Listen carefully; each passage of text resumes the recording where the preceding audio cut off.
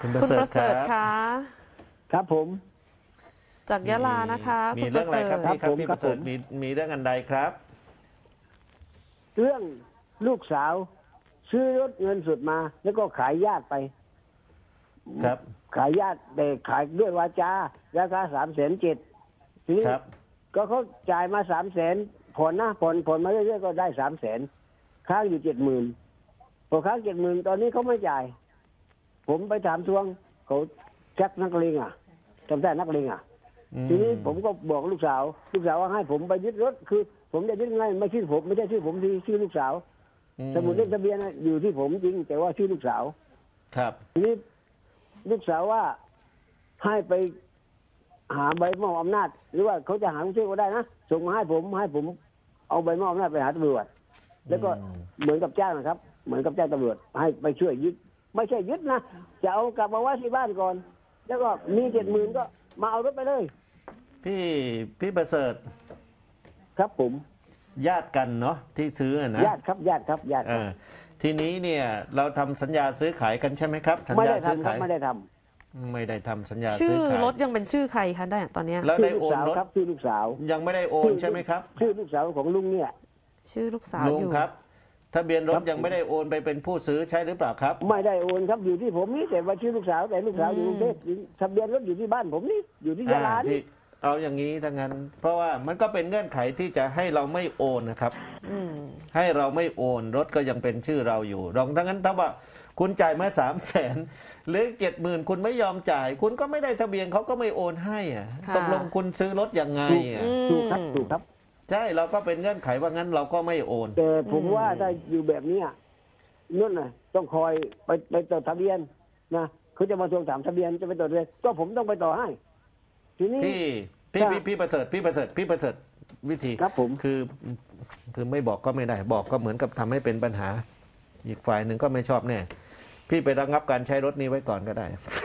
ทะเบียนก็อ๋อแรงทะครับเบียนแรงครับที่ที่กรมขนส่งครับ ขนส่งอะใช่ไหมเอครับ อใช่บอกผมขายเขาแล้วเนี่ยเขาผิดนัดอะไรเงี้ยผมงั้นผมยกเลิกเพราะผมเป็นเจ้าของทะเบียนรถ พี่ไปติดต่อขนส่งเลย ไม่ต้องไปหาตำรวจแล้วครับเรื่องนี้ ครับผมอืมแล้วแล้วไปไปไปไปขนส่งต้องหรือไปมอบหน้าอีกอันคหรันึ่บงนะพี่อีกประเด็นหนึ่งนะพี่นะเจรจาอีกประเด็นหก่นึ่อนงไหมผมพี่ไปบันทึกประจำวันไว้ที่โรงพักนิดหนึ่งไปบันทึกประจำวันเฉยๆนะ เพื่อให้รู้ว่าครับผมได้ขายรถคันนี้ไปเอ่อลูกสาวได้ขายรถคันนี้ไป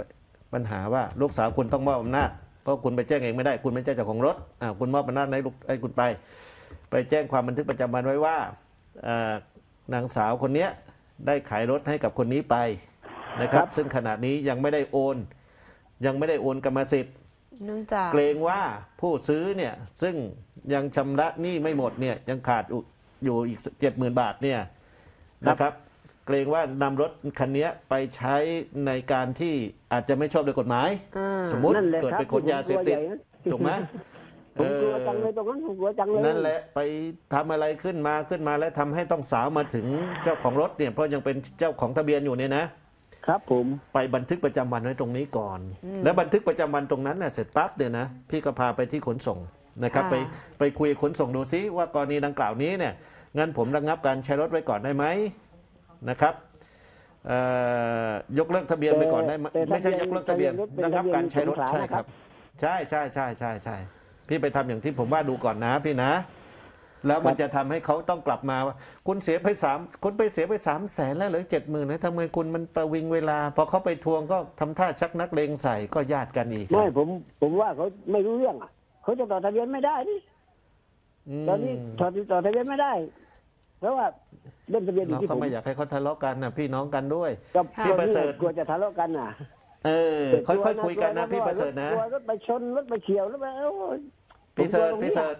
พี่เสริฐพี่ประเสริฐคะพี่เสิร์ชครับ ใจเย็นๆลองคุยกับเขาอีกทีหนึ่งนะ บอกว่าถ้าอย่างนั้นเนี่ย ถ้าอย่างนั้นเนี่ยถ้าไม่จ่ายที่เหลือเนี่ยนะ งั้นผมก็จะต้องผมก็แจ้งระงับการใช้รถนะ ผมว่าผมก็กลัวว่าเดี๋ยวคุณจะเอารถไปใช้แล้วมีปัญหาตามมาถึงผมถึงลูกผมเนี่ยค่ะเราอ้างอย่างนี้ได้นะอ้างเหตุผลมันมีเหตุผลที่ต้องอ้างไง